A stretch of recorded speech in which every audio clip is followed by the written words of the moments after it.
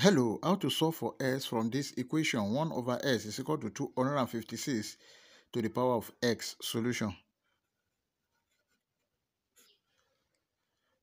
1 over s is equal to 256 to the power of x.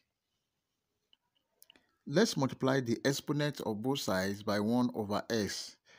1 over s to the power of 1 over s is equal to 256 raised to power s to the power of 1 over s. If you have a raised to power n to the power of m equal to a raised to power m to the power of n equal to a raised to power n m.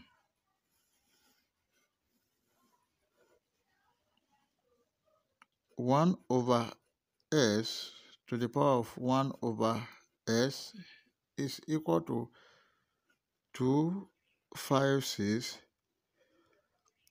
to the power of s over x. This will cancel this. 1 over s to the power of 1 over s is equal to 2 five, six. But two, five, six is equal to four raised to power four. And one over s to the power of one over s is equal to four raised to power four. Then if you look at this, base 1 over s is equal to 4 and the exponent 1 over s is equal to 4. Therefore, 1 over s is equal to 4. But we are looking for the value of s. This is also over 1. Then let's cross multiply. 1 times 1 is equal to 4 multiplied by x. Then 1 is equal to 4x. Let's divide both sides by 4 divided by 4. This will cancel this. S is equal to 1 over 4. And this is the final answer. We can check to confirm if our answer is right or wrong. Let's check. We have the given equation 1 over s is equal to 256 raised to power s. Then when s